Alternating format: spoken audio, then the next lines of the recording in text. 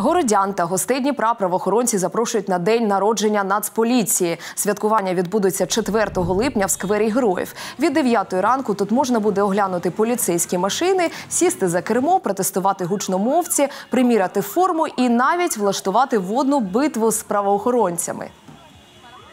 Буде представлено автобус тактико е, оперативного реагування роти.